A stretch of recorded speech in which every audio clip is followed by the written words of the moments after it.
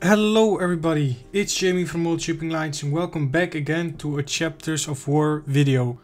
Today we shall talk about the battleship, the HMS Cressy and uh, her fate in uh, World War One. Now first of course we're gonna talk about her design and construction. The HMS Cressy was a Cressy class armed cruiser built for the Royal Navy around 900. Cressy was designed to displace 12,000 long tons. The ship had an overall length of 472 feet and a beam of 69 feet 9 inches and a deep draft of 26 feet 9 inches. She was powered by two four-cylinder triple expansion steam engines and each driving one shaft, which produced a total of 21,000 indicated horsepower and gave a maximum speed of 21 knots. The engines were powered by 30 Belleville boilers.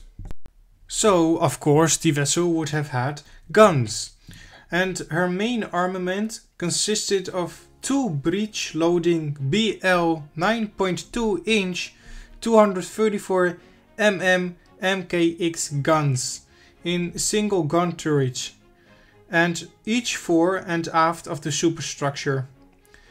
They fired 380 pound shells to a range of 15.500 yards.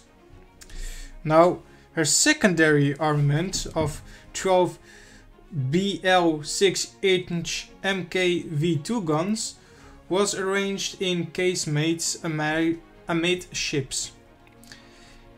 Eight of these were mounted on the main deck and were only usable in calm weather. A dozen quick-firing GF 12-pounder 12 CV-10 guns were fitted for defense against torpedo boats. 8 on casemates on the upper deck and 4 in the superstructure. The ship also carried the also carried three 3-pounder Hotchkiss guns and two submerged torpedo tubes. The ship's waterline armor belt had a maximum thickness of 6 inches. Cressy, named after the 1336 Battle of Crecy, was laid down by Fairfield Shipbuilding at the shipyard in Govan, Scotland on 12 October 1898 and launched on 4 December 1899. After finishing her sea trials, she passed into the Fleet Reserve at Portsmouth on 24 May 1901. Now let's move on to her early life of this fine battle cruiser. Yes. She was commissioned by Captain Henry Tudor for service on the China Station on 28 May 1901. But her departure was delayed for several months when her steering gear broke down shortly after leaving the base and she had to return. She eventually left home waters in early October 1901 arriving at Colombo on 7 November and then at Singapore on 16 November. She was assigned to the North, Afri North America and West Indies station from 1907 through 1909 and placed in reserve upon her return home. The ship was assigned to the 7th Cruiser Squadron shortly after the outbreak of the First World War in August 1914. The squadron was tasked with patrolling the Broad Fourteens of the North Sea in support of a force of destroyers and submarines based at Harwich, which protected the eastern end of the English Channel from German warships attempting to attack the supply route between England and France. She was also in the Battle of Helgoland, Bight on 28 August. And now we shall sadly move on to her sinking. On the morning of 22 September, Cressy and her sisters, the Ab Aboukir and Hogue, were on patrol without any escorting destroyers, as these had been forced to sneak shelter from bad weather. And I can understand why, you know, bad weather, but I mean, if you look at the Cressy, sure, she is a battle cruiser, but she is not a battleship. I mean, she's not a battle battle vessel like warships. I mean, she she I don't think she can stand much fire. That's what I'm trying to say. Um, but the three sisters were steaming in line abreast about 2,000 yards apart at a speed of 10 knots. They were not expecting submarine attack, but had lookouts posted and one gun manned on each side to attack any submarine sighted. The weather had moderated earlier that morning and Tenerife was en route to reinforce the cruisers with 8 destroyers. But they were being watched from down below.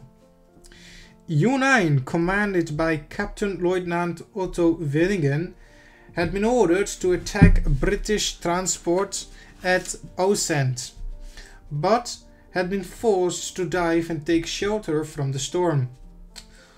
On servicing, she spotted the British ships and moved to attack. She fired one torpedo at 6-2 at Aboukir, which struck her on the starboard side. The ship's captain thought he had struck a mine and ordered the other two ships to close to transfer his wounded men. Now the Aboukir began listing and capsized around 6.55, despite counter-flooding compartments on the opposite side to right her. As Hogue approached her sinking sister, her captain Wilmot Nicholson realized that it had, be, that it had been a submarine attack and signaled Cressy to look for a periscope, although his ship continued to close on Aboukir.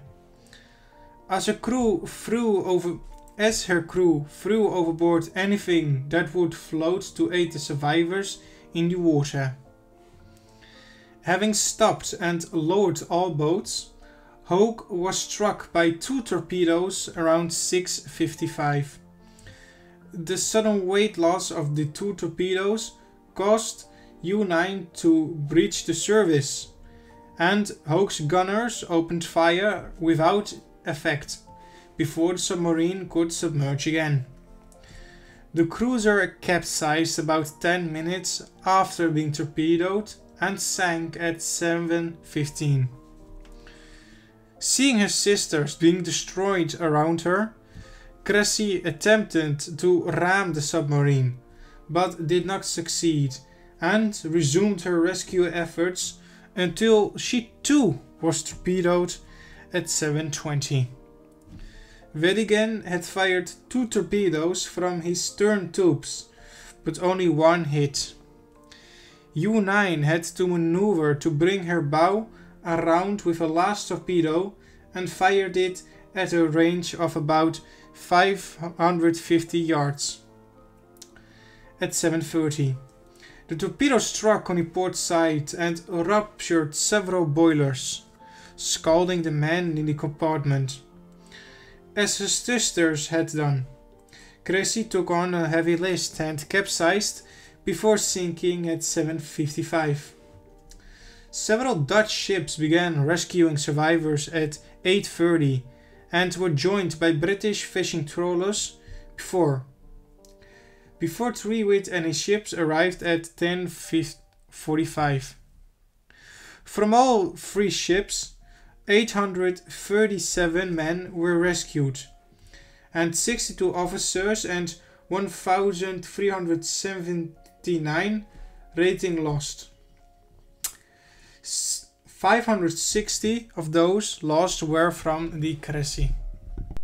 And that is the again the end of a chapters of war video. I hope you guys enjoyed it and uh, learned something from this uh, World War One tragedy.